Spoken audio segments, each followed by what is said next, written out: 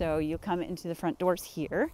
Erin McKinnon says building this community hall was a project designed to build people up after their collective safety had been shattered. There's still moments of insecurity, of course. McKinnon lives in Portapique and was here the night one of her neighbors went on a rampage, killing 22 people, some of them her friends. Some people here felt they had to attend the release of the Mass Casualty Commission's final report. Others couldn't.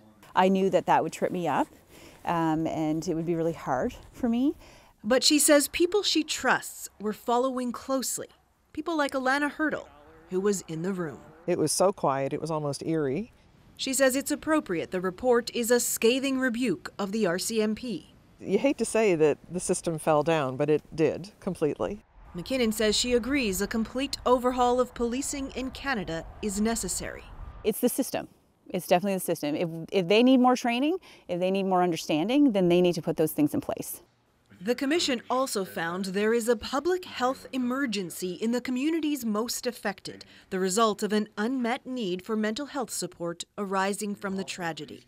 A situation still so urgent, the Commission wants the federal and provincial governments to create a program to address it within one month.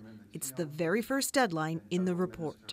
It's not easy to seek help, but it's really not easy when that when you go for help, it's not it's not available to you. She's calling on governments to implement the recommendations, but says building this hall to help the community move forward is her focus. We want people to grow here and we want to give them hope.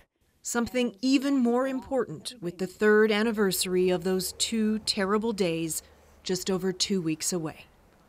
Kayla Hounsell, CBC News, Portapique, Nova Scotia.